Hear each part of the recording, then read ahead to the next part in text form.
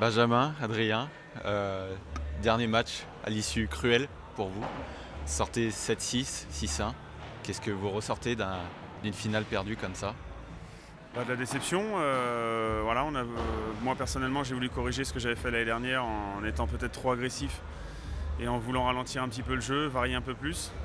Ce que j'ai plutôt bien fait au premier set. On n'a pas eu beaucoup de réussite sur ce premier set. Ça, tournait, ça, tourné en, leur faveur. Euh, on perd le tie-break et puis après on se fait breaker d'entrée. C'est dur mentalement.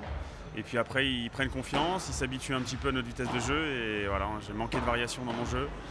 Et euh, c'est vrai qu'après ils, voilà, ils, ont, sont mis en mode rouleau compresseur et c'était très dur au deuxième, en tout cas mentalement pour nous.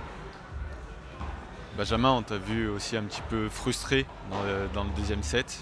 Euh, qu'est- Qu'est-ce qui, a- vraiment fait pencher la, la balance C'est mentalement, c'est tactiquement Pas mentalement à la fin peut-être qu'à 4 ans on lâche un peu de jeu mais c'est pas mentalement qu'on perd le match parce qu'ils ont plus de paddle, ils ont plus de solutions que nous, ils ont réussi à bien s'adapter euh, aux conditions et à se mettre dans le rythme comme ils ont dit, ils viennent de dire à l'instant.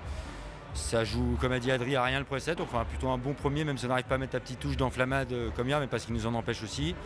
Ils ont une palette très large de paddle et, nous, comme a dit Adri, on a voulu être patient, bien, on a, fait des choses bien et en même temps on a manqué un peu de brin de folie, mais bon, c'est pas facile. Ils jouent très bien, euh, on sait que c'est des joueurs très forts. Pour gagner, il faut faire un gros match comme à Strasbourg, ça n'a pas été forcément le cas aujourd'hui. Voilà, on retentera notre chance, comme on dit.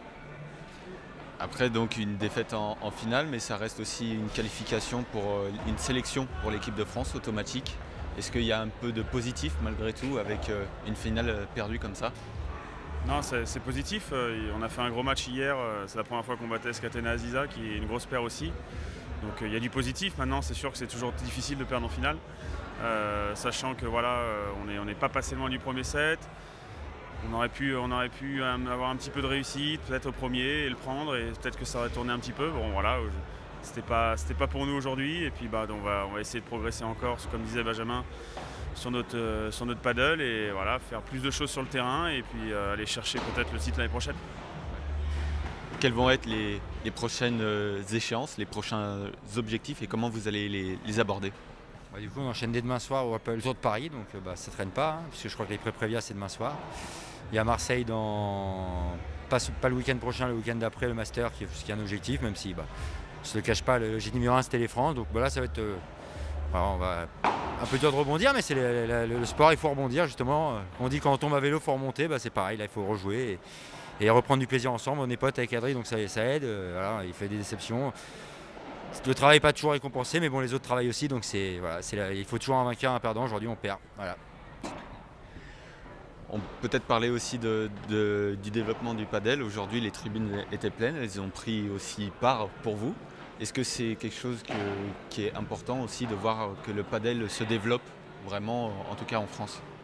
Ah bah, c'est très important, on le voit. euh, au fur et à mesure, euh, la Fédé met les choses en place pour améliorer euh, leur circuit, leur tournoi, leur championnat de France. Là à Paris, il y a un vrai engouement. voilà, on est dans un beau club avec, des grosses structures. Les tribunes étaient remplies, il y avait du bruit. on espère que d'année en année, ça va se remplir encore plus. Et en tout cas, voilà, nous, on est, on est passionnés de toute façon, on continuera à jouer. Et en espérant que, que les gens aiment nous regarder jouer et se passionnent pour ce sport. Merci Benjamin, merci Adrien.